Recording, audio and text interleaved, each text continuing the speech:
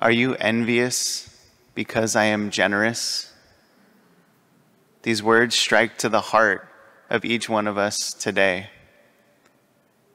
In the gospel, Jesus tells us this beautiful parable of this generous landowner who hires laborers at various times throughout the day, yet he pays them the same wage.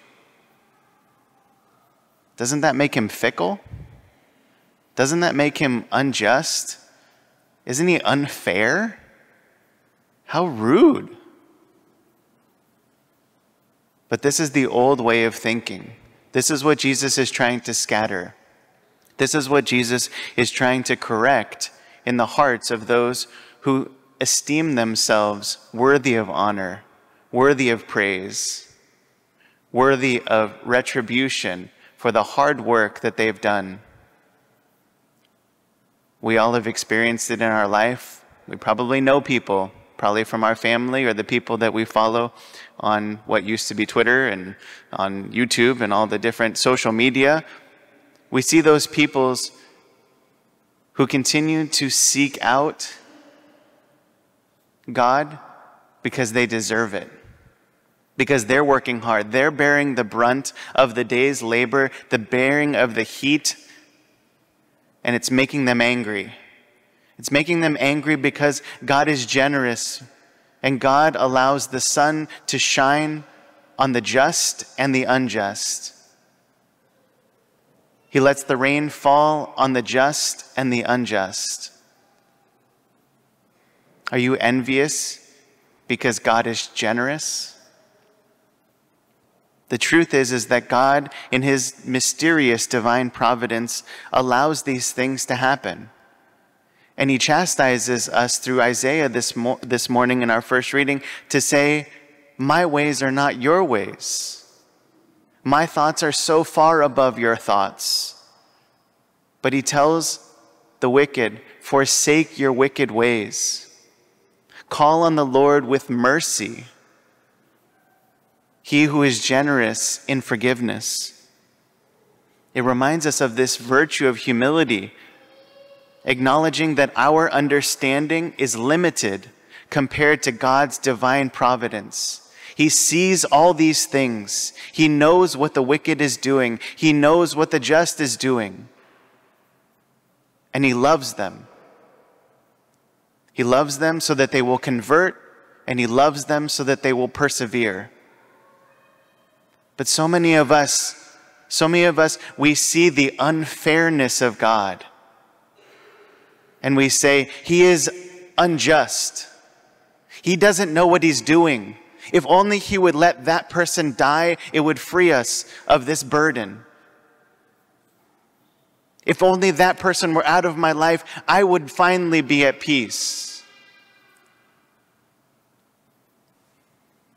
We're not acknowledging the true God. In God's providence, God has put these people where they are, wherever they are. God's directing us to something more today, and He's saying to each one of us, do not judge yourself by what you think you deserve, or more importantly, do not play me, do not try to be me, and tell me what they deserve, what others deserve. Because that's where the grumbling is happening in our holy gospel. In this parable of the landowner, they grumble.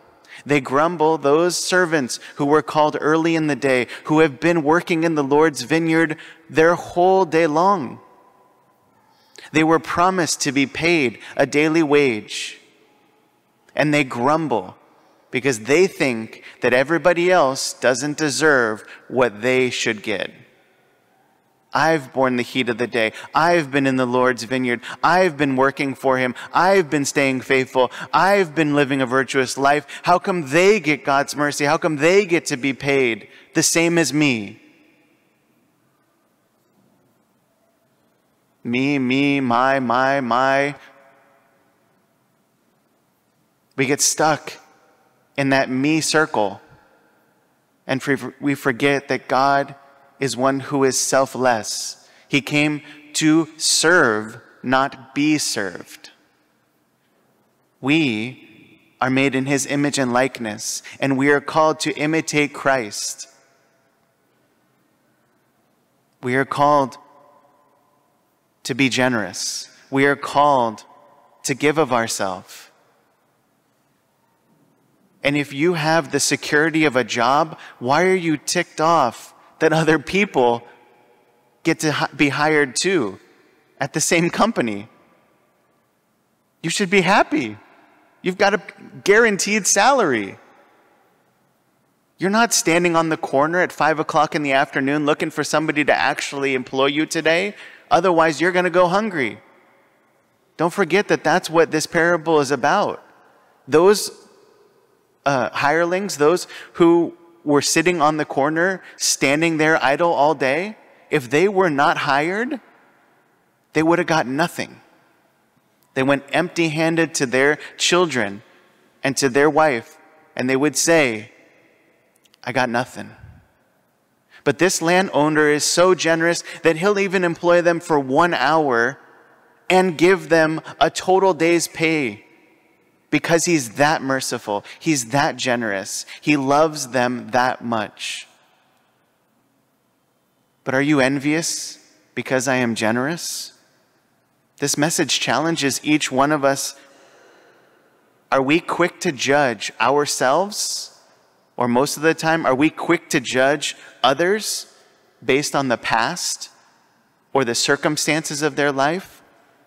Do we harbor envy in our hearts when we perceive someone receiving God's blessings that we think doesn't deserve it?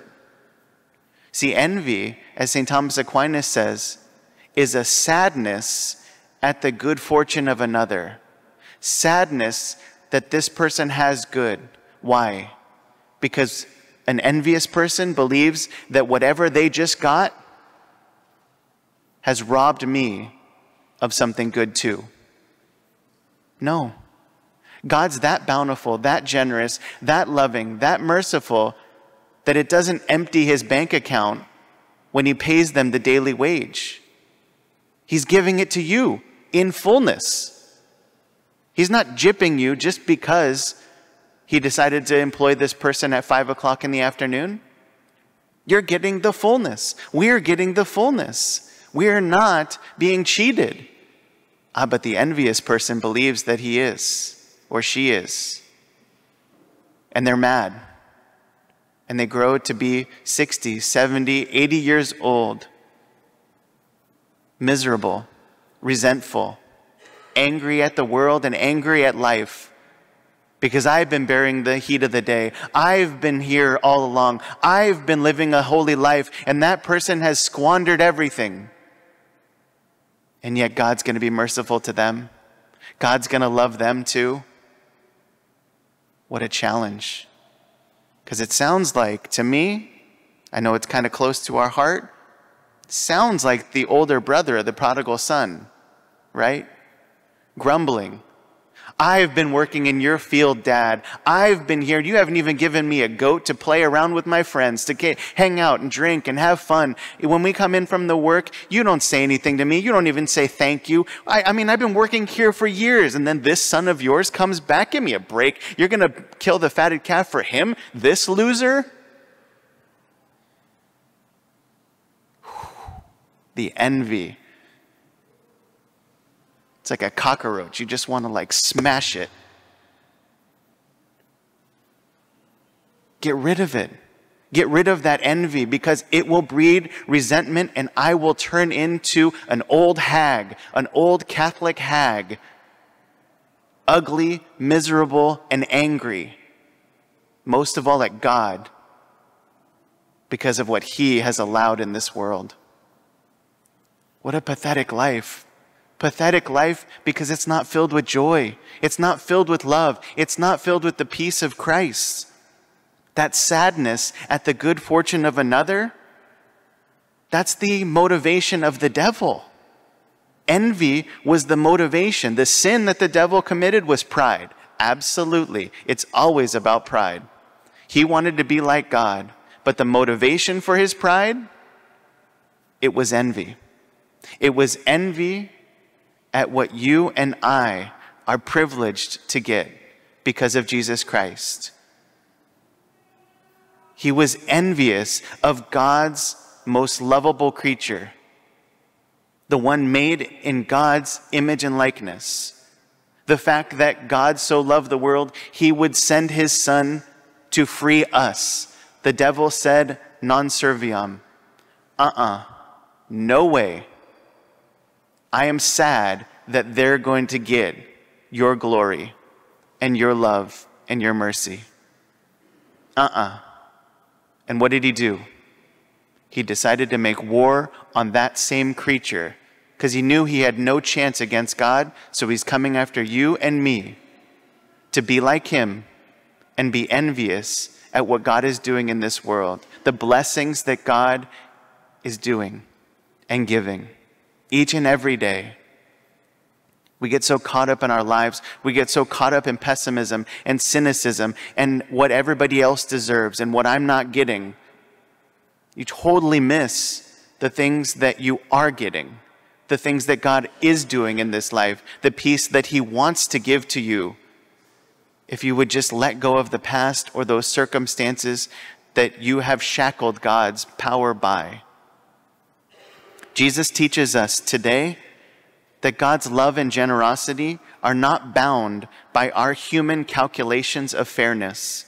What's most striking about the landowner parable is the fact that he himself goes out. There's other parables where it says the king sent his servants out to go collect those who were on the highways and byways to come into the banquet.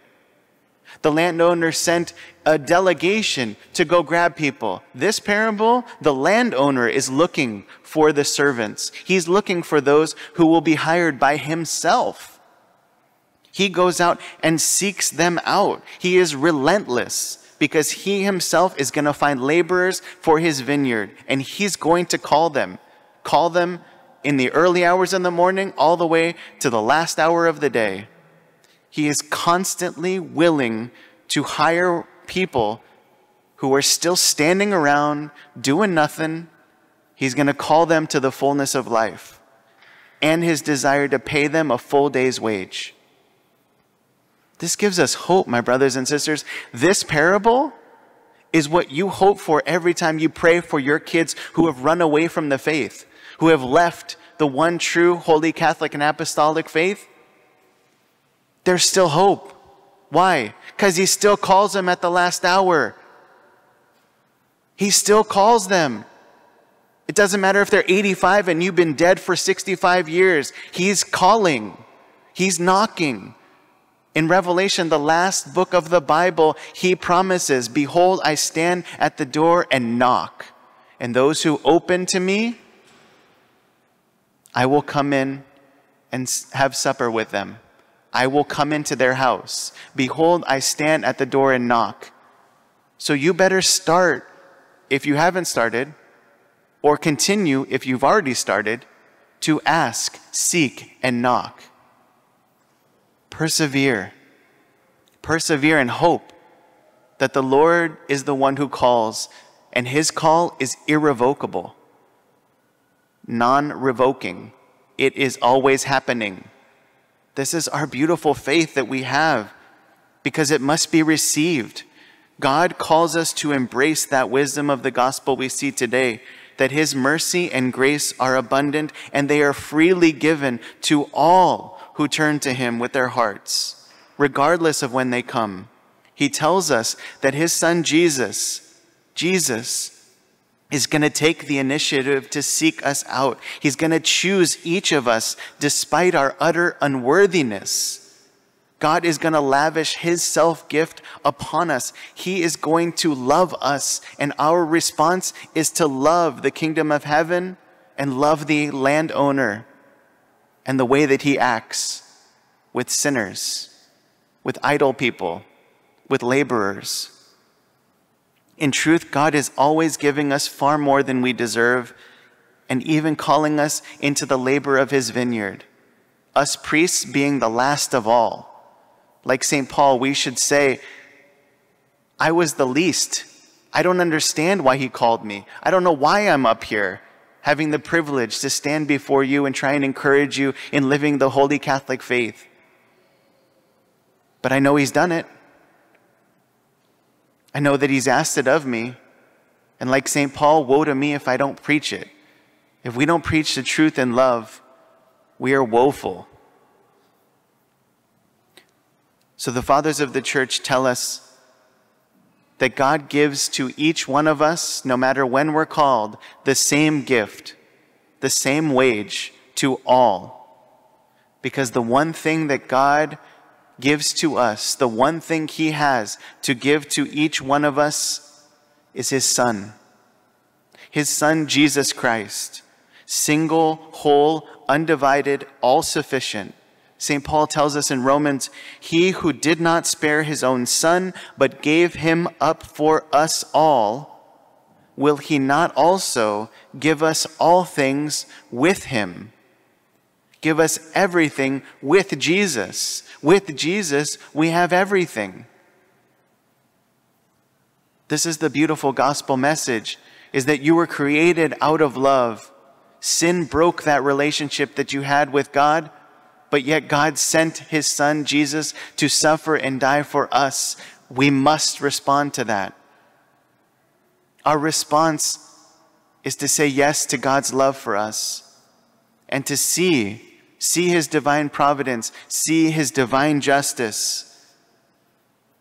That's what this parable is all about. God's divine justice that condemns sin, but always tends in the direction of justifying the sinner, condemns sin, but always is in the direction of justifying the sinner, bringing him to mercy, bringing her to God's love and mercy, raising that person, that person that was made in the image and likeness of God, to the fulfillment of their call, to the fullness of life.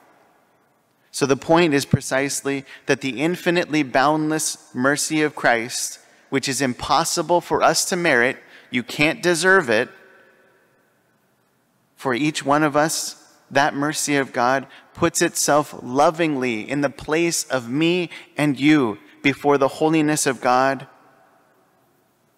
and justifies us. It makes me and you worthy of participating in God's own life. This is the revelation of God's superabundant love for us, that it has no limits, that it's irrevocable. You can't unbaptize yourself. You've heard me say that before.